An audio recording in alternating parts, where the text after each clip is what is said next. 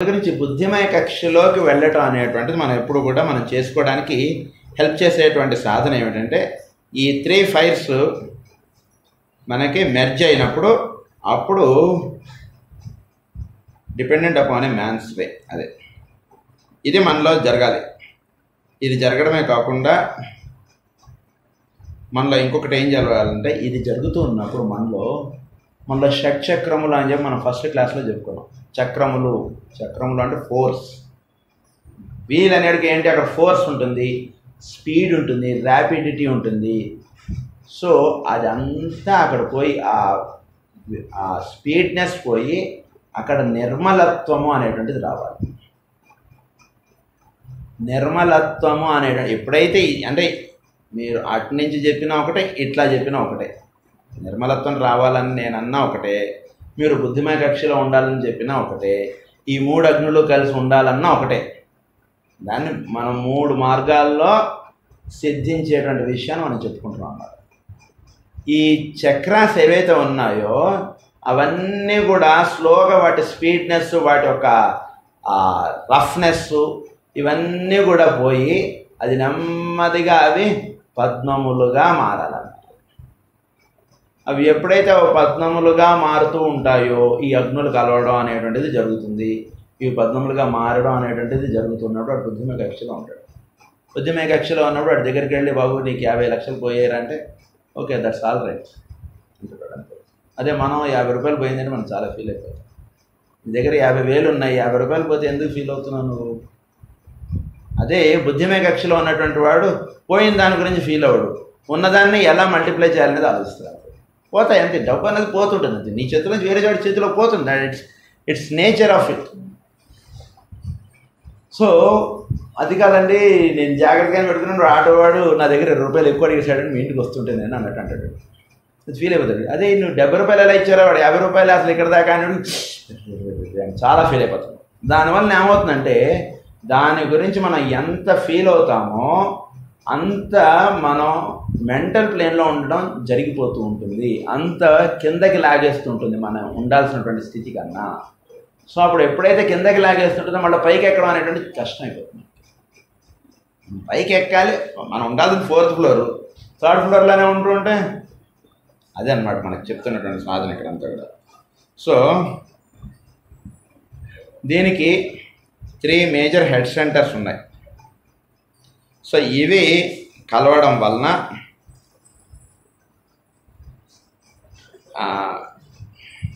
So వీటి యొక్క సహక అంటే ఇవి మూడు ఇదే మూడు జ్యోతులుగా కూడా చెప్పారు మనకి. ఇవి ఒక దాని నుంచి ఇంకొక దానికి లైట్ అంటే మనలో త్రీ మేజర్ హెడ్ సెంటర్స్ అనేటువంటివి ఉన్నాయి. ఒకటి ఆజ్ఞ అదే pineal pituitary and head centre so ఈ త్రీ మేజర్ హెడ్ సెంటర్స్ కలిసి ఉండడానికి వాటిలో ఒక చోట వెలిగితే వెలుగు ఉంటే మిగిలిన మూడింటికి అది పంపించేస్తుంది మిగిలిన రెండింటికి. అదే వెలుగు ఒకదాని నుంచి ఒకటి అంటుకుని అలా విడిపోతుందండి అంటున్నారు. అంటే ఏంటంటే ఈ పద్మములుగా మారడం ఎప్పుడైతే జరుగుతూ ఉంటుందో అక్కడ వెలుగు అనేటువంటిది ఉంటుంది వీడికి అన్నారు దాన్ని దాన్నే ది హయ్యర్ బ్రిడ్జ్ ఇలా అనేక రకాల పేర్లతో మనకు చెప్పారు అదే విషయాన్ని. సో ఈ విధమైనటువంటిది మనకి జరగడం అనేటువంటిది ఎక్కడ మనకు స్టార్ట్ అవుతుంది? ఫోర్త్ ఇనిషియేషన్ అనేటువంటిది ఎప్పుడైతే మనకు వస్తుందో అప్పుడు ఇదంతా కూడా జరుగుతుంటుంది. సో ఇది జరగడానికి మన క్లీన్సింగ్ అనేటువంటిది అవ్వాలి. ఫిజికల్ ప్లేన్లో మనకి క్లీన్ అవ్వాలి. అంటే బా అతుక్కోవడం. మన నూనె నూనె ఉందనుకోండి ఇదంతా. చేపెడితే అతుక్కు నూనె అంతా చేతికి అంటుతుంది ఒంటికి అంటుతుంది బట్టలకు అంటుకుంటుంది అంటే దాన్ని ఏమంటే అతుక్కోవడం. అలా కాకుండా నీట్గా తుడుచుకుని బండలు ఇలా ఉన్నాయనుకోండి దాన్ని ఏమంటాం మనం? క్లీన్ అయింది ఇల్లంతా నీట్గా ఉంది. అప్పుడు ఏదో అతుక్కోవడం మట్టి అంటడం ఏదో అంటుకోవడం ఉండదు. అంటుకోవడం అనేటువంటిది ఉండదు మీకు అక్కడ. క్లీన్గా ఉంచుకుంటే.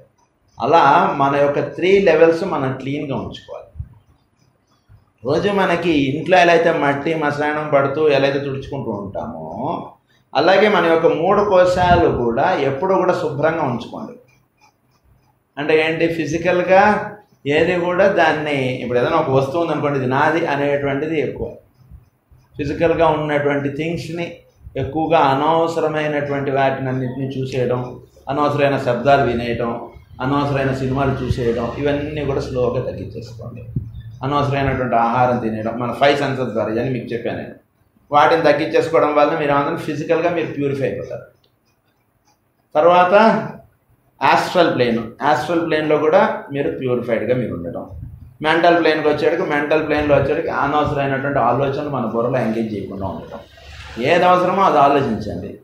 ఫలానా వాడు ఎదుటివాడు వాడు వీడి గురించి మనం మాట్లాడుతుంటే మన బ్రెయిన్ అంతా కూడా చాలా లేదు సో దీనికి మన మైండ్కి it needs lot of energy so ఆ ఎనర్జీని అంతా కూడా మనం స్టఫ్ అక్కర్లేనటువంటి స్టఫ్ అంతా అక్కడ వేసేస్తుంటే అక్కడ ఉన్నటువంటి అగ్ని మండడం మానేస్తుంది అక్కడ ఉన్నటువంటి అగ్ని చక్కగా మండాలి అంటే మీరు ఆ అగ్నికి రైట్ స్టఫ్ ఇవ్వండి రైట్ స్టఫ్ ఇస్తే మీకు మంచి ఆలోచనలు ఎక్కడైనా ప్రాబ్లం ఉంటే దానికి ఏం ఆలోచించి నిర్ణయం చేయాలనేటువంటి మీకే తడుతుంది. ఎందుకంటే ప్రాబ్లం ఫేస్ చేస్తున్నది మనం కాబట్టి మనకి తట్టడం అనేటువంటిది రైట్ కానీ ప్రాబ్లంకి అవుట్ సైడర్గా ఉన్నటువంటి వాడికి దాని సొల్యూషన్ తట్టి వాడు చెప్పింది మనం చేయడం అనేటువంటిది ఎక్కువ కరెక్ట్ కాదు. ప్రాబ్లం ఫేస్ చేస్తున్నది ఎవరు? మనం. మనం ప్రాబ్లం ఫేస్ చేస్తున్నప్పుడు దానికి సొల్యూషన్ మనకి తట్టాలి. మనకి తట్టక మనం ఏం చేస్తామంటే పెద్దవాళ్ళు ఎవరంటే వాళ్ళని అడగటం వాళ్ళని అడగడం ఇవన్నీ చేస్తుంటాం. పెద్దవాళ్ళని అడగద్దని కాదు నేను చెప్పేది. ఆ ప్రాబ్లంకి మనకు సొల్యూషన్ ఎందుకు తట్టట్లేదు అంటే కనుక మనం ఆ ప్రాబ్లంని మనం దానిలో ఇన్వాల్వ్ అయిపోయి మనం ఉండటం వల్ల మనకు సొల్యూషన్ అనేటువంటిది మనకు తట్టట్లేదు. దాని నుంచి మనం పై లెవెల్లోకి వెళ్ళాలి. దానిలో మైండ్ లెవెల్లో ఎక్కువ అతుక్కోవడం అనేటువంటిది చేయకుండా ఉన్నప్పుడు మనకి అప్పుడు ఆ లెవెల్ చాలా క్లీన్గా ఉంటుంది. మైండ్ చాలా క్లీన్గా ఉంటుంది. నేను ఎదుటివాడితో తగులాడి వచ్చేసి ఇక్కడ కూర్చున్నాం అనుకోండి. ఏం మాట్లాడినా సరే చివరికి ఈ రోజులు ఎవరిని నమ్మకూడదండి అనేదానికి వెళ్ళిపోతాం అనుకో టాపిక్ ఎందుకంటే వాడు ఎవడో నన్ను మోసం చేస్తాడు సో ఎంత మాట్లాడుతున్నా సరే ఆ టాపిక్ నా బుర్రలోంచి పోదు. ఆ టాపిక్ నా బుర్రలోంచి పోకుండా ఉండటం అనేటువంటిది ఎందుకు జరుగుతుందంటే బికాస్ ఆ స్టఫ్ అంతా నా మైండ్లో తిరుగుతుంది కాబట్టి నా మైండ్ అంతా డిస్టర్బ్డ్గా ఉంది కాబట్టి నా మైండ్లో మీరు ఏది కదిలిచ్చినా అదే మాట్లాడతాను. నా మైండ్ క్లీన్గా పెట్టుకున్నాను అనుకోండి అప్పుడు మెంటల్ లెవెల్లో నేను ఇబ్బందులు ఫీల్ అవుతున్నా ఇబ్బంది ఉన్నా ఎప్పుడైతే నేను బుద్ధిమయ కక్షలోకి గడిపోతానో అప్పుడు ఇది ఇబ్బంది అవ్వదు నాకు. వాడు ఎవడో యాభై రూపాయలు తీసేశాడు నా దగ్గర నుంచి కొట్టేశాడు. దాని గురించి నాలుగు రోజులు వారం రోజులు నేను నిద్రలు మానేసి ఆహారం మానేసి నేను ఉండటం ఎక్కువ కరెక్టా? లేదా దట్స్ ఆల్ రైట్ అని అనుకుని వాడు జేబు కొట్టేస్తే కొట్టేసాడులే నెక్స్ట్ నేను ఎలా జాగ్రత్తగా ఉండాలి? ఓకే ఈ స్టెప్స్లో నేను జాగ్రత్తగా ఉండాలి. బస్సులో వెళ్ళేటప్పుడు జేబులో డబ్బులు పెట్టుకోకూడదు వెనక జేబులో డబ్బులు పెట్టుకోకూడదు డబ్బులు పెట్టుకుంటే కొట్టేస్తాడు అన్నట్టుగా ఒక ఎడ్యుకేషన్ తీసుకుని ఆ దానికి తగ్గట్టుగా నేను నెక్స్ట్ మూమెంట్ నుంచి ప్రొసీడ్ అయిపోతూ ఉండడం ఎక్కువ కరెక్ట్ కదా? సో అలా ఉండడం అనేటువంటిది ఎవరికి చేతనవుతుంటే బుద్ధిమే కక్షలో ఉన్నటువంటి వాడు అలా ఉంటాడు. మానసిక కక్షలో ఉన్నటువంటి వాడు పది మందికి ఫోన్లు చేసి ఏమండి నా జేబులో ఇది పది రూపాయలు కొట్టేశాడు నా జేబులో పది రూపాయలు కొట్టేశాడు అది వాట్సాప్ మెసేజ్ ఏ ఎడిపోతుంటుంది అన్నమాట. సో బుద్ధిమయ కక్షలో ఉంటున్నటువంటి వాడికి సహజంగా అక్కడ ఏం చేయాలి? ఓకే ఇలా చేయకూడదు ఇలా చేయాలి. అనవసరంగా మనీ క్యారీ చేశాను అంత డబ్బు అది చేయకూడదు. అంత డబ్బు క్యారీ చేసేటప్పుడు నేను ఆటోలో వెళ్ళాలి లేదా క్యాబ్లో వెళ్ళాలి? ఇలా సంథింగ్ ఇట్ టేక్స్ డెసిషన్స్ మన ప్రాబ్లం అదే అనమాట ఇక్కడ మనం మెయిన్గా ఇంకా చాలా విషయం. సో ఇది ఈ రకంగా మనం ఉండటం అనేటువంటిది మనం ఎక్కువ అభ్యాసం చేసుకోవడం వల్ల ఏమవుతుందంటే ఈ త్రీ లెవెల్స్ మనకి ప్యూరిఫైడ్గా ఉంటాయి ఇప్పుడు కూడా.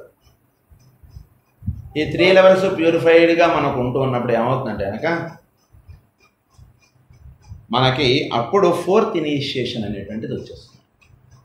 ఫోర్త్ ఇనిషియేషన్ అని ఎప్పుడైతే వచ్చిందో అప్పుడు మనకి ఏమవుతుందంటే కనుక ఈ ఫైర్ అనేటువంటిది మనలో చాలా చక్కగా మండటం అనేటువంటిది ఉంటుంది. ఫైర్ ఫైర్ చక్కగా మండాలి. ఆరిపోతున్నట్టుగా మండుతుంటే మనకు వంట అవుతుంది అన్నాళ్ళైనా సరే. వంట బాగా మండుతుంటే వంట ఫాస్ట్గా అయిపోతుంది. నేను మంట బాగా మండుతుంటే ఏదైనా సరే ఫాస్ట్గా పని అవుతుందండి మనం మంట సరిగ్గా మండట్లేదు అనుకోండి ఎంతసేపు చేస్తున్నా సరే అదే సామెత ఉంది సరే అలా అయిపోతుంది లైఫ్. అలా కాకుండా మంట బాగా మండుతూ ఉండాలంటే కనుక మనకి ఇవన్నీ కూడా చాలా ప్యూరిఫైడ్గా మనకు ఉండాలి. ఇవన్నీ ఉన్నప్పుడు మనలో ఏమవుతుందంటే కనుక వీటి వల్ల ఏమవుతుందంటే హెల్త్ అనేటువంటి చక్కగా మెయింటైన్ అవుతుంది. థాట్స్ అనేటువంటి చక్కగా మెయింటైన్ అవుతుంటాయి. మనలో యాస్ట్రల్ ప్లేన్ అంటే ఇవన్నీ ఫంక్షనల్గా ఇవన్నీ కూడా చక్కగా జరుగుతూ ఉండటం. వీటన్నిటికీ చక్కటి ప్రాణశక్తి అనేటువంటిది అందివ్వబడటం. ఇదంతా కూడా రైట్గా జరుగుతూ ఉండటం అనేటువంటిది సహజంగా అయిపోతుంది because you are clean in your physical astral and mental your buddhic so ఈ త్రీ ప్లేన్స్కి అందివ్వబడవలసినటువంటిది ఆటోమేటిక్గా చక్కగా అందివ్వబడిపోతుంటుంది. నువ్వు ఉన్నది బుద్ధిమయ కక్ష అక్కడి నుంచి నువ్వు ఇంకా పైకి ఎగపాకేస్తావు. అది మనం మెయిన్గా మనం గుర్తుంచుకోవాల్సినటువంటి విషయం. సో ఈ మైండ్ అనేటువంటిది చక్కగా ఈ రెండు ఫైల్స్ తోటి కలిసినప్పుడు అప్పుడు ఇక్కడి నుంచి ఆ స్పిరిట్ అనేటువంటి దాంట్లో అంటే నేను అనేటువంటి ప్రజ్ఞ ఎక్కడైతే ఉందో అక్కడి నుంచి అది ఎక్కువగా మా దాని యందు మనం ఉండటం అనేటువంటిది జరుగుతుంది. అప్పుడు ఆ స్పిరిట్ అనేటువంటిది the down rush of spirit and the uprising of the inner fires of matter అది. ఇవి జరుగుతుంది. Produce corresponding results on the same levels. So అప్పుడు మనకి ఏది చేసినా సరే చాలా పర్ఫెక్ట్గా అంటే వీటి వల్ల ఏం జరుగుతుందంటే కనుక మనలో పర్ఫెక్షన్ అనేటువంటిది వస్తుందండి. మనలో పర్ఫెక్షన్ రాకుండా మనకి పనులు అవ్వాలంటే అవ్వ ఎప్పుడు థర్డ్ క్లాస్ పాస్ అయితేనే ఫోర్త్ క్లాస్కి మనం అర్హత కానీ థర్డ్ క్లాస్ పాస్ అవ్వకుండా ఫోర్త్ క్లాస్కి అర్హత అంటే అది కరెక్ట్ సో థర్డ్ క్లాస్ మనం పాస్ అవ్వటం అనేటువంటిది ఎప్పుడైతే జరుగుతుందో we are perfect in third class subject hence we are eligible for fourth class అది బాగుంటుంది. So perfection and liberation evolution ఇవి జరుగుతాయి మనలో. ఈ క్లీన్సింగ్ అనేటువంటిది పర్ఫెక్ట్గా జరిగినప్పుడు. ఇవి జరగడానికి మనం ఇంకొంచెం చేయాల్సింది ఏమిటంటే కనుక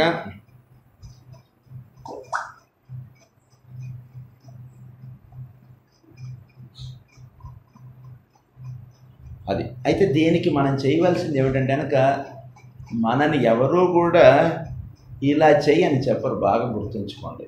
ఈ ప్రపంచంలో రోజు నువ్వు గుడికెళ్ళు నాయన అని చెప్పరు రోజు కాసేపు ఏదైనా పూజ చేసుకో అని చెప్పరు. రోజు ఎక్కువగా బుద్ధిమ కక్షలో ఉండు నాయన నీకు బాగుంటుందని ఎవరు చెప్పరు ఇది మనకి మనం సాధన చేసుకోవడం అనేటువంటిది చేసుకుంటుంటే అప్లిఫ్ట్మెంట్ చాలా బాగుంటుంది. అంటే అది మనకి అంటే దీనిలో ఏంటంటే ఎందుకంటే వాటిలో ఇరుక్కుపోవడం అనేటువంటిది మనమే చేస్తున్నాం కాబట్టి దాని నుంచి బయటకు రావడం అనేటువంటిది కూడా మనమే చేయాలి. కానీ ఎవడో వచ్చి నన్ను బయటకు తీసుకెళ్ళి అక్కడ ఎక్కడో నుంచోబెడతాడంటే అదంతా ఎక్కువ మైండ్ లెవెల్లో ఇన్వాల్వ్ అయిపోయి మెంటల్గా వాడేవాడో తిట్టాడు వీడోడో తిట్టాడు. అసలు నేను వచ్చింది అది కాదు కదా కారణం. వాడు తిట్టినోనే నేను బుర్రలు ఎందుకు క్యారీ చేయాలి? వాడు ఉండేటువంటి కక్షను బట్టి వాడు తిడతాడు వాడు ఉంటాడు. మనకు అనవసరం అవన్నీ. వాడు ఉండేటువంటి కక్షను బట్టి వాడి రియాక్షన్ ఉంటుందండి. మనం ఉండాల్సిన కక్ష ఏమిటి? ఫోర్త్ ప్లేన్ అది మనం మర్చిపోతే వాడు మనం ఒకటైపోతాం. వాడు వాడికి ఎడ్యుకేషన్ అంతా ఉండొచ్చు ఉండకపోవచ్చు. అది వేరే సంగతి. ఇప్పుడు ఈ కాలనీలో ఐఏఎస్ చదువుతున్నటువంటి వాళ్ళు ఎంతమంది ఉంటారు? కాలనీలో మేదీపట్నంలో ఐఏఎస్ చదివేటువంటి వాళ్ళు ఎంతమంది ఉంటారు? మా అయితే ఒక్కళ్ళు ఉంటారు. వాడి యొక్క టైం టేబుల్ వేరు వాడి యొక్క జీవన విధానం వేరు వాడి యొక్క స్కెడ్యూల్ వేరు వాడు చదివే బుక్స్ వేరు వాడిదంతా అసలు వేరు. మిగిలిన వాళ్ళంతా వేరు. అంతే కదండి. అది ఎలా అయితే సత్యమో మనం కూడా ఉండవలసినటువంటిది ఫోర్త్ ప్లేన్ అనేటువంటిది అంతే సత్యం. సో ఎవడు ఉండట్లేదు కదా మనం అక్కడ ఉండి ఏమి యూజ్ అంటే కనుక అందరూ ప్రాబ్లమ్స్ తోటి ఎలా కొట్టుమిట్టాడుతున్నారో మనం అలానే ఉండిపోతాం. మనం ఎప్పుడైతే మనం ఫోర్త్ ప్లేన్లో ఉంటామో మనం ఎటువంటి ప్రాబ్లం అయినా ఈజీగా మనం సాల్వ్ చేయగలుగుతాం. ప్రాబ్లం ఎందుకు మనం సాల్వ్ చేసుకోలేకపోతున్నాం అంటే కనుక because we are not in four plane అంతే ఆన్సర్ సో దీనికి తోడు మనం ఇంకొకటి ఏం చేయాలంటే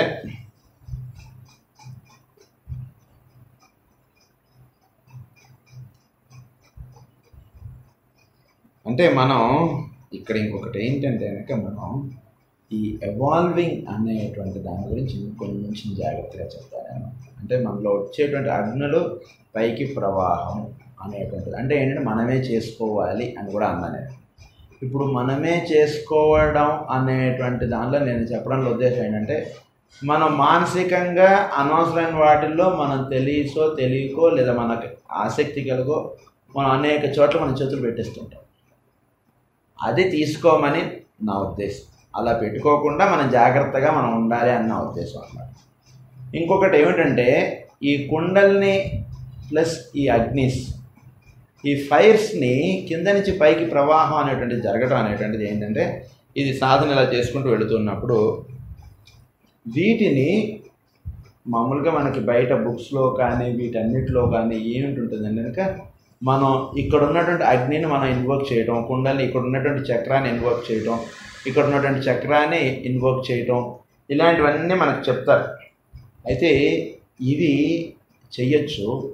కానీ ఏమవుతుందంటే కనుక వాటిని మనం కింద ఉన్నటువంటి అగ్ని పైకి ప్రవాహం అయ్యేటట్టుగా మనం చేసుకుని ఆ కింద ఉన్నటువంటి అగ్ని పైన మైండ్ లెవెల్లో వచ్చి ఇవన్నీ మనం చెప్పుకున్నాడు అది ఎలా అనేటువంటిది ఒక పద్ధతి ఉంది. అది చెప్తాను. అది వేరే విషయం. కానీ ఇది ఎప్పుడైతే మనం చేసుకోవడం అనేటువంటిది చేస్తూ ఉంటామో అప్పుడు ఏమవుతుందంటే కనుక ఎప్పుడైతే మనం సెల్ఫ్ డ్రైవింగ్ అనేటువంటిది మనం చేసుకుంటూ ఉంటామో అప్పుడు కొన్ని ఇబ్బందులు అనేటువంటివి కూడా ఉంటాయి ఒక్కటి బాగా గుర్తుంచుకోండి. We are dealing with fire మంటలతోటి మాటలు కాదు. ఫైర్ తోటి మనం హ్యాండిల్ చేస్తున్నప్పుడు దాంతో కొన్ని జాగ్రత్తలు కూడా మనం తెలుసుకోవాలి. అంతా మంచి అంతా మంచి అంతా మంచి అన్నప్పుడు నా చెయ్యందుకు గాలిందండి అని అంటే ఎంత ఫైర్ తోటి చేయగలుగుతుందని మీరు చెప్పలేదు. ఇప్పుడు గ్యాస్ స్టవ్ మనం కొత్తగా ఇప్పుడు కంపెనీ వాడు మనకు చూపించడానికి కూడా చెప్తున్నాడు అనుకున్నాడు రెండు పాలు పెట్టుకుంటే రెండు నిమిషాలు మీకు అయిపోతుంది. కుక్కర్ పెట్టుకుంటే మూడు నిమిషాల్లో అయిపోతుంది. ఇంకేదో చేస్తే ఐదు నిమిషాలు అయిపోతుంది. ఇవన్నీ వాడు చెప్పాడు బాగానే ఉంది. మరి ఎక్కడ మనకు చేయగలుగుతుందని వాడు చెప్పలేదే మరి. మన నాకు చేయందుకు గాలిందండి అంటే అది చేసుకుంటూ ఉన్నప్పుడు అవి అంత తొందరగా అవ్వడం అనేటువంటిది ఎంత సహజమో జాగ్రత్తగా లేకపోతే చెయ్యి కాలిపోవడం అనేటువంటిది కూడా అంతే సహజం. అంతే కదండి. అగ్నితో మనం ఫైర్తో మనం డీల్ చేస్తాం.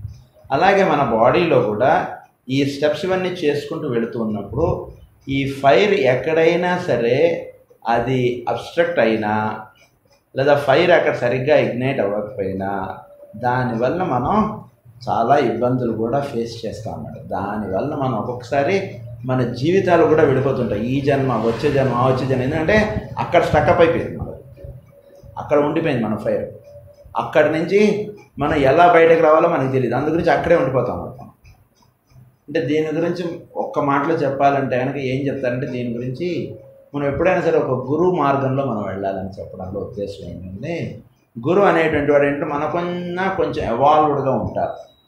బుక్ రాసినటువంటి వీళ్ళందరూ ఏం చెప్తారంటే మీకన్నా ఒక నాలుగు స్టెప్స్ మేము ముందు నడుస్తున్నాం కాబట్టి మీకు గైడెన్స్ అనేటువంటిది ఇవ్వగలుగుతాం అని చెప్తారు అంటే ఈ గైడెన్స్ అనేటువంటిది వాళ్ళు ఇవ్వడంలో ఏం చేస్తారంటే ఇక్కడ ఈ స్టెప్లో మీరు ఈ జాగ్రత్త తీసుకోండి అనేటువంటి వాళ్ళు చెప్తారు. ఇప్పుడు మనం గురువు అంటే మనం సైంటిఫిక్గా మనం మాట్లాడుకుంటున్నాం కానీ గురువు పాద పూజ చేయండి రోజు ఇవన్నీ కాదు మనం చెప్పుకుంటున్నాం. మన ఉద్దేశం అది కాదు. సో ఈ ఫైర్స్ని హ్యాండిల్ చేయడం అనేటువంటిది ఆ ఫైర్ అది. So that they are energies so ఎనర్జీస్ని ఫైర్ని వీటిని మిస్హ్యాండిల్ చేస్తే ఇల్లు అంటుకుపోతుంది. ఇవన్నీ ఎన్ని ఉన్నాయి కదా మన మామూలు ఫిజికల్ ఫైర్కి అలాంటిది ఈ ఫైర్స్ ఇంకా డేంజర్ అనమాట సో వాటి వలన ఎంత రిమోట్ సిస్టమ్ మనం జనరల్గా మనం సోఫిస్టికేటెడ్గా మనం ఉంటున్నప్పుడు ఎంత రిమోట్ సిస్టమ్ మనం ఎంజాయ్ చేయగలుగుతామో అలాగే అది తేడా వస్తేనే దానివల్ల కొన్ని ఇబ్బందులు అనేటువంటివి కూడా ఉంటాయి కాబట్టి. అలానే వాటి వలన వచ్చేటువంటి కంఫర్ట్స్ మనం వదులుకున్నామంటే మనంత ఇది ఉండదు. వాటిని కంఫర్ట్స్ మనం యూజ్ చేసుకుంటూనే వాటికి తీసుకోవాల్సినటువంటి జాగ్రత్తల్లో మనం ఉంటూ ఉంటే లైఫ్ చక్కగా వెళ్ళిపోతుంది. అది ఇక్కడ నేను చెప్తాను అనుకుంటున్నాను. సో అది కొంచెం జాగ్రత్తగా హ్యాండిల్ చేసుకోవడం అనేటువంటి పాయింట్ ఒకటి ఉంది అనేటువంటిది మీరు ఊరికే జస్ట్ గుర్తుపెట్టుకోండి అంతే. సో దీనివల్ల ఏమవుతుందంటే కనుక మనిషి అనేటువంటి వాడు చక్కగా ఎవాల్వ్ అవ్వడం అనేటువంటిది జరుగుతుంది. సో దీనివల్ల ఏమవుతుందంటే కనుక so from centre to centre will drive the fire in unlawful progression and thus burn up tissue so సరిగ్గా జరగకపోతే ఏమవుతుందంటే అక్కడ టిష్యూస్ బర్న్ అయిపోవడం మనిషి మనస్సు దెబ్బతినడం ఇలాంటివి కూడా కొంచెం జరుగుతాయి. తర్వాత ఇంకొక విషయం ఏంటంటే if man passes from life to life to this in this action ఒకసారి ఇదన్నీ కూడా ఒక్కొక్కసారి దానివల్ల వేరే ఇబ్బందులు కూడా వస్తుంటాయి. సో స్పిరిచువలైజ్డ్ నాలెడ్జ్ అనేటువంటిది మనకి అదే గురువు. గురువు అనుగ్రహంతో గురువుతోటి లేదా ఇలాంటిది మనకు ఎప్పుడైతే మనకు ఉంటుందో మార్గం అప్పుడు ఈ స్పిరిచువల్ లై స్పిరిచువలైజ్డ్గా మనం ఎప్పుడైతే మనం ఉంటుంటామో ఒక గురు మార్గంలో అప్పుడు ఈ ఫైర్స్ ఒక్కొక్కటి మనం వెలిగించుకుంటూ మనం వెళ్ళిపోవడం కానీ ఈ బుద్ధిమయ కక్షలో ఎక్కువసేపు మనం ఉండగలగటం కానీ ఇవన్నీ చాలా సులభం అయిపోతుంది. ఇండివిజువల్గా కూడా చేసుకోవచ్చు. But it is more easy when you follow a guru అది ఇక్కడ మనకి చెప్తున్నట్టు ఇంకొకటి ఏమిటంటే కనుక ఇక్కడ మనకి ఈ ప్రేమ అనేటువంటి ద్వారా the blending of these fires must be the result of spiritualised knowledge. So ఏంటి మన కక్ష మన ముఖ్య ఉద్దేశం అంటే ఈ ఈ ఫైర్స్ ఇవన్నీ కూడా కలిసి ఆ ఉత్తమోత్తమైనటువంటి స్థితికి మనం వెళ్ళగలగటం అనేటువంటి దాని గురించి మనం అసలు వచ్చాం భూమి మీదకి. ఇది మనం పూజ పునస్కారం అని కాదు ఇక్కడ నేను చెప్దాం అనుకుంటున్నది. మన ఏంటంటే మనలో ఉన్నటువంటి ఫైర్స్ అనేటువంటి అప్లిఫ్ట్ అవ్వాలి. ఈ blending of etheric fire and the kundalini ఇవి రెండు జరిగి మనలో ఉండేటువంటి హెడ్ సెంటర్లో ఉండేటువంటి ఫైర్స్ అనేటువంటి వెలిగినప్పుడు అప్పుడు మనం ఉండేటువంటిది చాలా ఇదిగా ఉంటుంది. ఏదైనా ప్రాబ్లం అన్నా ఏదైనా ఏదన్నా సరే దాని గురించి ఒక థౌజండ్ క్యాండిల్ బల్బ్ పెడితే అక్కడ ఎంత లైట్ ఎలా అయితే పడి ఎంత బాగా చూడగలుగుతామో ఒక ఇష్యూ ఉంటే అంత బాగా మనం చూడగలుగుతాము సో ఆ విధమైనటువంటివన్నీ ఉంటుంది. ఇది ముఖ్యంగా మనం గుర్తుంచుకునేటువంటిది. తర్వాత లాస్ట్ టాపిక్ ఏమిటంటే ఈథరిక్ బాడీలో మనలో ఈథరిక్ బాడీ అనేటువంటిది ఎలా విత్డ్రా అవుతుంది అంటే నేను ఇది కూడా చాలా వరకు మీకు పాయింట్స్ కవర్ చేశాను. అంటే ఫస్ట్ ఆ విల్ టు లివ్ అనేటువంటిది పోయేటప్పటికి ఒక్కొక్క సెల్లోంచి ఇది విడిపోతుంది అనేటువంటి విషయం నేను మీకు చెప్పాను. అయితే ఇందులో సోలార్ సిస్టంలో కూడా అదే విధంగా విడిపోవడం అనేటువంటిది ఉంటుంది. ప్లానెటరీ లెవెల్ కూడా అదే విధంగా అనేటువంటిది ఉంటుంది. ఆ విల్ టు లివ్ అనేటువంటిది అంటే లోపల ఉంటుంది. ప్లానెట్కి అయితే లోపల ఉంటుంది. సూర్యుడికి అయితే కేంద్రంలో ఉంటుంది. అది ఎప్పుడైతే అది నిర్ణయం అవుతుందో అది నిర్ణయం ఎప్పుడవుతుంది ఇప్పుడు ఇక్కడికి వచ్చాం మనం ఏదో ఢిల్లీ వెళ్ళాం. ఢిల్లీ వెళ్ళిన తర్వాత ఎప్పుడు మనం తిరిగి వెళ్ళిపోదాం అనేటువంటిది ఎప్పుడు అనిపిస్తుంది? వెళ్ళినటువంటి పని సక్సెస్ఫుల్గా అయిపోతే మనం తిరిగి మన ఊరు వెళ్ళిపోదామండి. వచ్చినటువంటి పని అయిపోయింది. ఇక్కడికి వచ్చింది ఏంటి? అదేదో కలవాలి ఏదో చేయాలి. ఆ పని మనకి సక్సెస్ఫుల్గా అయిపోయింది కాబట్టి no we shall take back to our place అనేటువంటి నిర్ణయం అనేటువంటిది అవుతుంది సో అది ఎలాగో మనం భూమి మీదకి వచ్చినటువంటి కారణం ఏమిటి అనేటువంటిది ఫుల్ఫిల్ అయినప్పుడు అప్పుడు లోపల ఇన్నర్గా ది విల్ టు లివ్ అనేటువంటిది ఇంకా అక్కర్లేదు ఇంకా అయిపోయింది. వచ్చిన పని అయిపోయింది కదా ఇంకా. బయలుదేరదా సార్ ఇంకా మా ఊరు? మన చుట్టాల వాళ్ళు ఉండమన్నారు. లేదు సార్ ఊరు వెళ్తాను ఇంకా అక్కడ. మళ్ళీ ఆఫీస్కి వెళ్ళాలంటే ఇంట్లో పిల్లలకి అందరికీ కష్టం. మనం ఎలా అయితే చెప్తామో అలాగే మనం భూమి మీదకి వచ్చినటువంటి కారణం ఫుల్ఫిల్ అవి అయిన తర్వాత అప్పుడు టేక్ బ్యాక్ అనేటువంటిది అవుతుంది అన్నమాట ఎప్పుడైనా సరే. సో వచ్చినటువంటి కారణం అయితే మనం ఏంటంటే most of our time will be spend in spending time will be spend for the things which are not to be done so time అంతా కూడా ఏంటంటే వేటిలో వెళ్ళిపోతుందంటే కనుక మనం చేయవలసినటువంటి పనులు కాకుండా చేయదలిచినటువంటి పనుల్లో మన టైం అంతా వెళ్ళిపోతుంది. థర్డ్ క్లాస్లో వాడు ఆడుకుంటూ కూర్చుంటే ఎట్లా? వాడు ఫోర్త్ క్లాస్ క్లాస్లో వెళ్ళి కూర్చుంటే ఆ వన్ ఇయర్ వాడు కాన్సన్ట్రేట్ చేస్తే వాడు క్లాస్ అయిపోతుంది. నెక్స్ట్ క్లాస్కి వెళ్ళిపోతాడు వాడు. లేకుండా థర్డ్ క్లాస్లోనే ఉండిపోవడం అనేటువంటిది ఎలాగో మనకు కూడా అటువంటిది అనమాట సో ఇవి మనలో ఇది ఎలా అయితే వచ్చామో అలా విత్డ్రావడం అనేటువంటిది జరుగుతుంది. ఈ విత్డ్రా రావడం అనేటువంటిది ఎప్పుడైతే జరుగుతుందంటే కనుక ఇవి స్టెప్స్గా ఉంటుంది ఇది. సో ఫస్ట్ ఈ ఒక్కొక్క సెల్ నుంచి వచ్చేయడం అనేటువంటిది ఒకటి ఉంటుంది. సో అలాగే సోలార్ సిస్టంలో కూడా ఆ ప్రిన్సిపల్డ్గా ఉన్నటువంటి వాటిలోకి వెళ్ళిపోవడం అనేటువంటిది జరుగుతుంది. తర్వాత ఈ ది ప్లేన్ ఆఫ్ లవ్ అనేటువంటిది అక్కడ విత్డ్రా అవడం అనేటువంటిది జరుగుతుందని కూడా చెప్పాను నేను మీకు ఇదివరకు. సో ఇంతే కాకుండా నెక్స్ట్ వాడు ఏమిటంటే కనుక ఎందుకు వాడు విత్డ్రా అయిపోతాడంటే కనుక next a more responsible work is waiting for him అందు గురించి వీడు విత్డ్రా అయిపోతాడు అనమాట ఇంతకన్నా ముఖ్యమైనటువంటి దేహం వాడు తీసుకోవాల్సినటువంటి పని ఉంటుంది.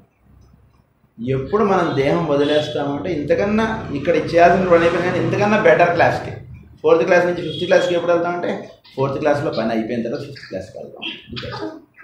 సో అది ఎలా అయితే జరుగుతూ ఉంటుందో మనం అంటే this I'm explaining under normal conditions for which we came ఇక అలా కాకుండా వేరే కారణాలతో కూడా దేహాలు వదిలేయడం అదంతా వేరే పురాణం. అదంతా అదొక నిమిషం పక్కన పెట్టండి.